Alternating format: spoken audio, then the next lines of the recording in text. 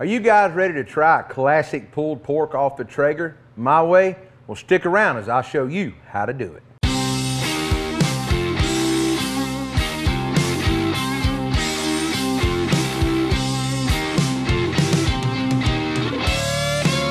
All right, guys, we're gonna cook some classic pulled pork today.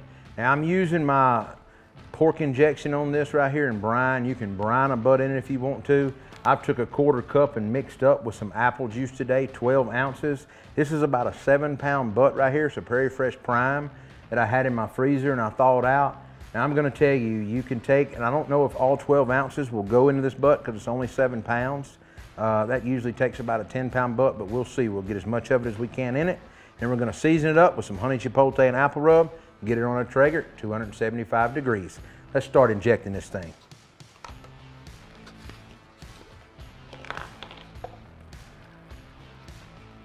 Now mixing up that quarter cup of injection to that 12 ounces of apple juice, you wanna start in your butt here, and I kinda hold my hand over some and that's how I'm pulling out. I'm just gonna go in a grid type pattern all the way up that butt, but you wanna watch it that it don't squirt on you and just keep going. I'm just gonna keep checkerboarding this whole butt. We get as much as we can in here. We might have to go in from the sides or the bottom or everything. So this injection is gonna impart not only flavor, but it's also gonna help the moisture level of the butt even more than it already has in it. It has phosphates in it, has garlic and onion powder. It's got sugar. Uh, it's got several things that your classic pork injections uh, have in them. This pork injection right here is what I've used in all my contests when I've cooked competition barbecue, whether it be whole shoulders, whole hogs, uh, just pork butts in KCBS. Um, I've actually injected ribs with it before at a contest. And so you can kind of just play with it and make it your own. You can mix with other fruit juices or water if you want to. It's kind of completely left up to you. Go in the side here by the blade bone.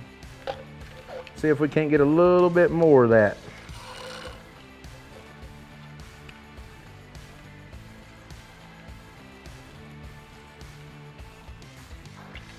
Now, I think that's about all. Maybe it's got about a couple ounces left. So it held about 10 ounces there.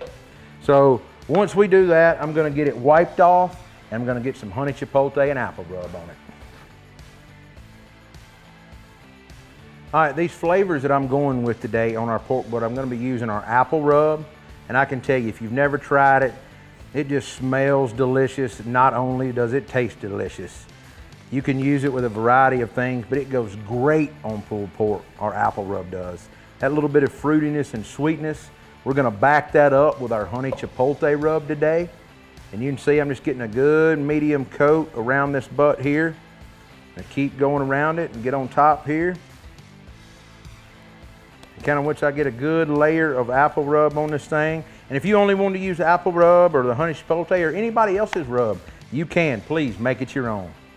Now, I'm gonna go around it with a good coat of honey chipotle rub. I love the color that the honey granules in my honey rub and honey chipotle give pulled pork, especially on your longer cooks. He just crust up and barks up unbelievable. Now you just want to get this thing coated good. Now a lot of people say, oh, he's using too much rub. Use what you want. It's completely up to you. I just do it because I know such a big piece of meat can take the seasoning. It can take the salt levels. It can take it and it's not bad for you. It's gonna be tossed around and shredded up and a lot of it's gonna come off in the liquid.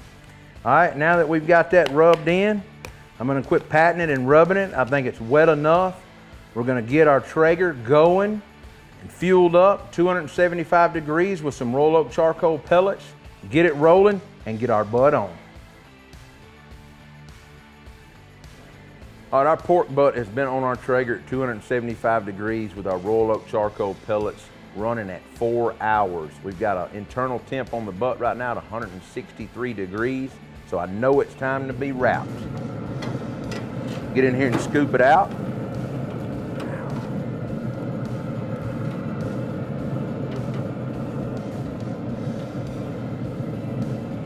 Wow, look at that. That is amazing color right there. All right, guys, our pork butt here, like I said, we're ready to wrap. You can see the color is incredible from the honey chipotle and apple rubs that we used on this butt. I'm gonna keep it simple today. I've got some of my vinegar sauce here. You can use whatever you want. If you wanna wrap with something different, you can. I just really like my vinegar sauce wrap pulled pork. Now, I will tell you guys, I'm gonna use a whole bottle on this thing. It's up to you what you use completely. Just what I'm using. Now you see that one bone sticking out right there? You want to be careful when you wrap your butt not to include that bone, okay? So, let me scoot that butt over. Once we've got our butt wrapped up, we're gonna get it back on the grill, get our probe in it, and let it go to about 203 degrees before we pull it.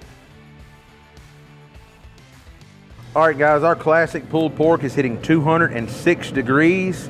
I'm gonna get this probe out I'm gonna get this Boston butt off and get it in our Yeti cooler to rest. So let's get it over here to the cooler and let it rest for about two hours. We're gonna be ready for some pulled pork. All right, guys, our classic pork butt is off of our cooker. We let it rest in our Yeti for a little over an hour and a half. And it, I'm gonna tell you, I think it's gonna be phenomenal. You can rest it longer if you want to. It's completely up to you. I'm gonna shred this thing on a sheet pan here. Um, now just to recap, we used our honey, chipotle, and our apple rubs. We cooked it on our Traeger at 275 degrees. This was a smaller butt, about seven pounds. So it had a total cook time of about six and a half hours. About four and a half unwrapped, about two hours wrapped, and then we're gonna come back with almost, like I said, an hour and a half, two hours wrap. So it's very simple, very easy. Um, you know, you just wanna make sure that you wrap it up tight. I kept it very simple by only using a couple of my rubs and I wrap with my vinegar sauce.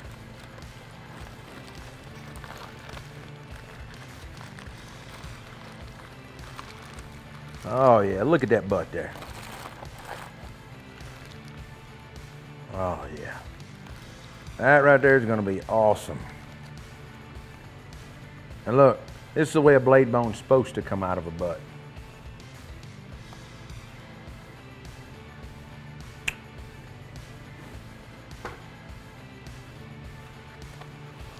Now, I'll show y'all this here. You get in here and we could chop this up, or you could just use your hands and go like that. And that's what we're looking for. Good, simple, easy pulled pork. Start laying it over here, and shredding it down, picking some fat out. The key to these butts are really resting them, y'all. That, to me, that is the key. You can see, guys, this butt just shreds up nice. That vinegar sauce is already like half sauced, and so it just melts in your mouth here.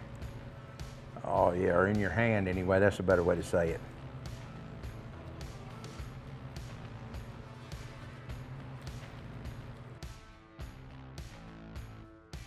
All right, guys, the last thing to do to our classic pork butt, I've got it shredded up here on a pan, and we're fixing to get ready to eat some of it, is to get us a bite now. I'm gonna get me a bite of this bark right here.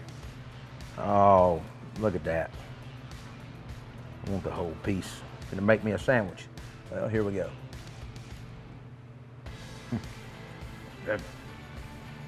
Mm-mm-mm.